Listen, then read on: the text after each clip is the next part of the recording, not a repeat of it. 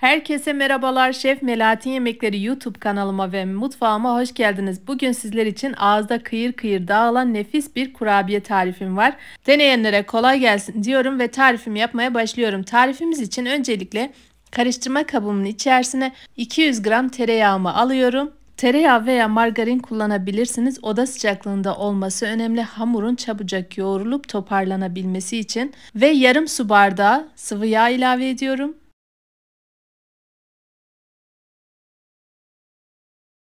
Bir yumurta akı, sarısını üzeri için ayırdım. 2 yemek kaşığı üzüm sirkesi kullandım.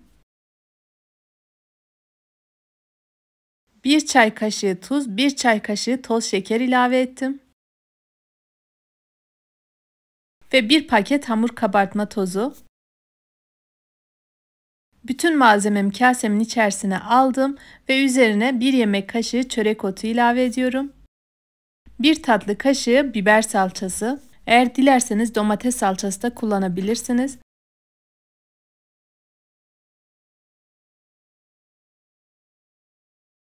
Bütün bu malzememi iyice elimle karıştırıp üzerine unlu ilave ediyorum.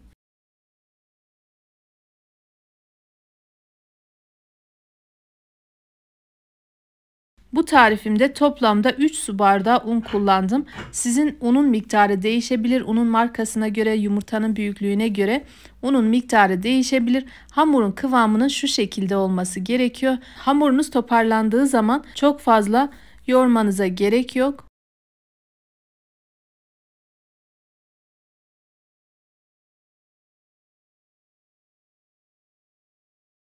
Hamurumu yoğurdum ve tezgahımın üzerine bir yağlı kağıt serdim. Hamuru tam ortasına alıp şöyle elimle birazcık düzelttim. Tekrar üzerine bir yağlı kağıt serip merdane yardımıyla yarım santim kalınlığında açıyorum.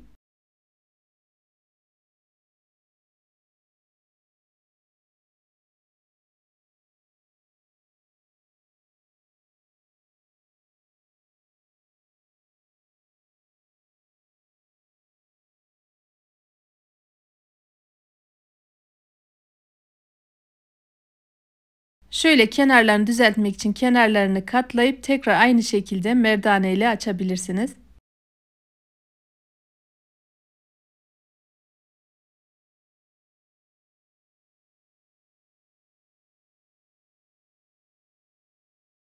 Gördüğünüz gibi hamurumu açtım. Çok güzel bir şekilde yarım santim kalınlığında ve üstteki yağlı kağıdı fırın tepsimin içerisine yerleştiriyorum.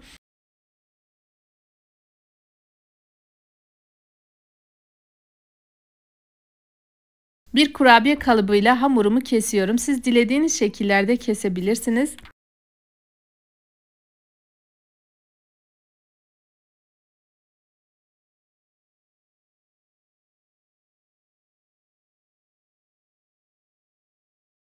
Bu şekilde kestikten sonra kenarlarındaki fazla hamurları alıyorum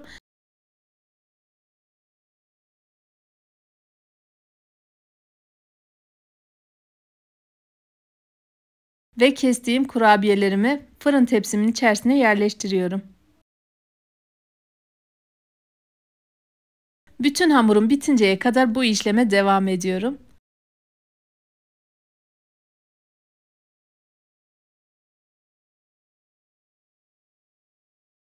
Kurabiyelerimi hazırladım. Üzeri için ayırdığım bir yumurta sarısını her tarafına sürüyorum.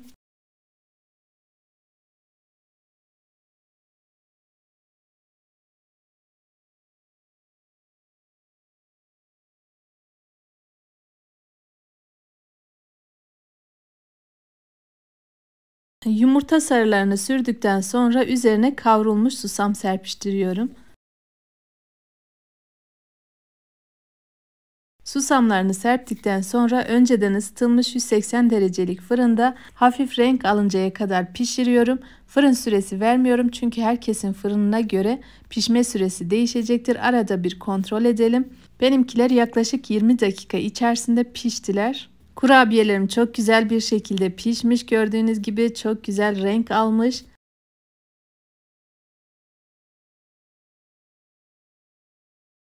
Soğuduktan sonra şu şekilde servis tabağına dizdim. Yanına çay ile birlikte ikram ettim. Gerçekten çok lezzetli, mükemmel bir tarif oldu. O salçanın tadı ağızda kıyır kıyır dağılmasıyla mükemmel bir kurabiye. Kurabiyemin bir tanesini böldüm. Şöyle sizlerle paylaşıyorum. Görüyorsunuz nasıl mükemmel bir şöyle elimde parçalıyorum. Hemen dağılan nefis bir kurabiye oldu.